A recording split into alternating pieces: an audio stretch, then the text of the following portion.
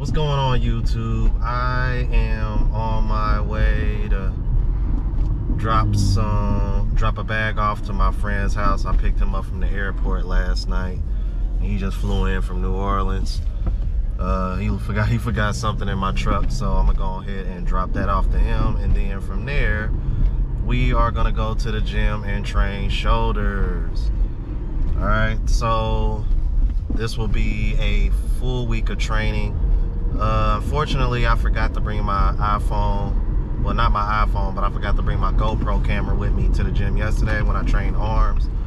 But I'd imagine, you know, I mean, it's arms for crying out loud. You know what I mean? You can only do so much when you're training arms.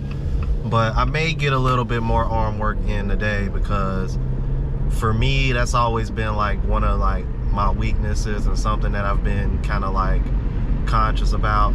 So I definitely want to, I'll probably try to get some extra work in, like do some real light work, particularly triceps. I'll probably stay away from biceps because my biceps are sore as hell from yesterday.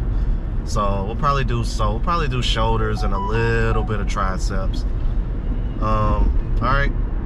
So I'll be back um, in the gym later. All right. Deuces.